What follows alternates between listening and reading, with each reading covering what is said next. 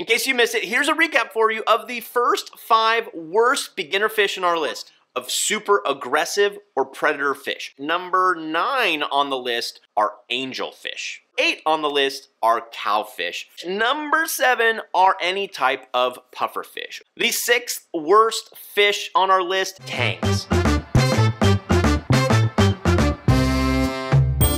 A big howdy howdy to all of my fellow and future hobbyists out there. My name is Matthew. I am your BRS beginner guru. On our top 10 worst beginner fish list, we have already done numbers 10 through 6, and we'll put a link to that video below if you're interested. But all we're going to do today, right here, right now, is continue on with the 5 worst beginner fish. Worst beginner fish, number 5 on the list, is actually what I have right over here. We're talking seahorses and their relatives, the pipefish. I personally love this tank, but I can say that I don't love this tank primarily because of the seahorses. Because seahorses really just sit around for most of the day. The reason I love this is because of their interaction with the macroalgae and the soft corals. That's really what makes the tank. Just because they're boring doesn't mean they're not a good beginner fish. The things that make them not a great beginner fish is they require some special things. Number one, most seahorses need a cooler temperature. So keeping seahorses at, at 78 degrees is just going to slowly kill them.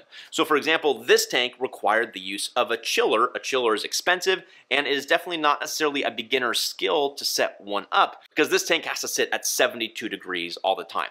So that's one reason they're not fantastic. Number two is they are highly susceptible to disease. So mixing seahorses with other fish means that those other fish can give diseases to seahorses. So this tank, for example, only has seahorses and fish that I have quarantined for months at a time, but it also has a UV sterilizer. And then adding seahorses and pipefish, they can often bring different diseases and they have different resistances to diseases from different areas. So putting them together can also be risky. So if you're a total beginner, I would say stay away from them unless you want to build a seahorse pipefish specific tank. Then there's a lot of research you're going to want to do and setting up that tank correctly so that they survive and thrive. Worst beginner fish number four on the list are Anthias. I have made the mistake, and I'm going to find you some pictures or some videos right now. I put three Anthias in a 20 gallon tank. Don't ask me why, that was idiotic. Anthias are not beginner friendly. There are several reasons they're not beginner friendly. Number one,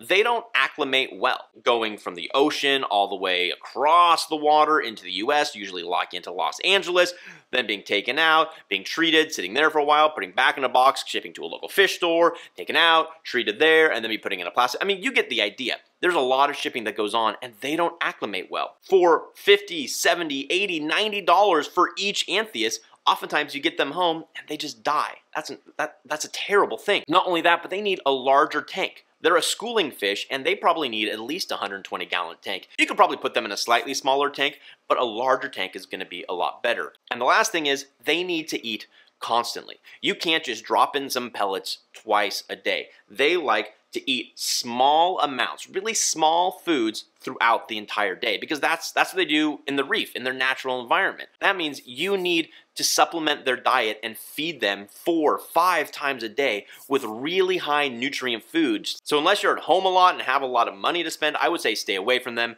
They don't ship well, they need a large tank, and you have to feed them a lot. The third worst beginner fish on my list are dragonets. Probably the most common that we know are mandarin dragonets. So pretty and so gorgeous, and some people are even able to breed them in captivity now. The problem with mandarin dragonets is similar to anthias, they need to feed all day long. And they have these really tiny mouths, and they pretty much only go after live food. So we're talking copepods.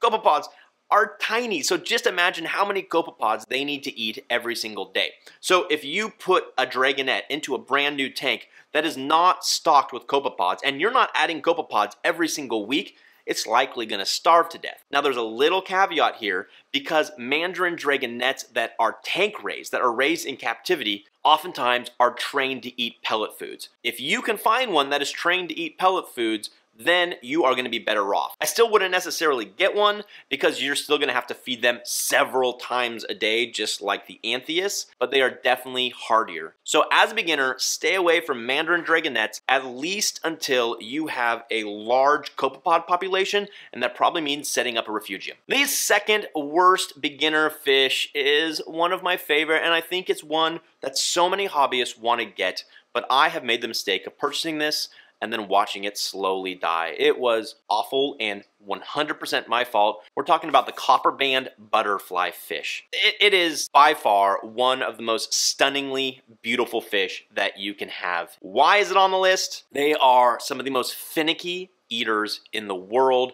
and like the Anthias and the Dragonets, they need to eat constantly. So unless you have a large tank that is super well stocked with live foods, and or you have one that will accept frozen mysis shrimp and stay away from them because there's nothing worse than getting this large, beautiful fish that is fat and happy that was pulled from the reef and just watching it slowly die in your tank. Even though you're feeding it all sorts of different kinds of foods, sometimes they just won't eat. Definitely not a beginner fish. And the number one worst beginner fish that you could buy and put in your tank is actually a fish that looks very similar to the butterfly fish. We're talking about the Moorish idol. These are beautiful fish, and if you snorkel around Hawaii, you have seen them. Gorgeous, long waving fins. Don't get them. They are super picky eaters. If I thought copperband butterfly fish were picky eaters, Moorish idols are even worse than that. I have heard story after story, and I have rarely, if ever, heard a story of somebody successfully keeping a Moorish idol. The only people that can really have some success with that are people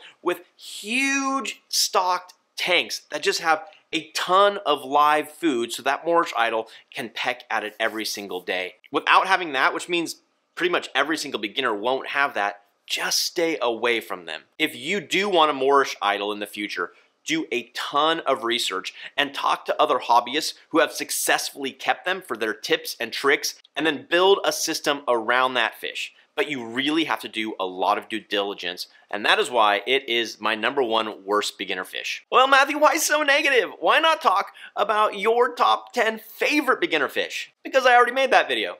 Click over here to watch it. As always, everyone, thanks for watching. Happy reefing. Be well. We'll see you next time.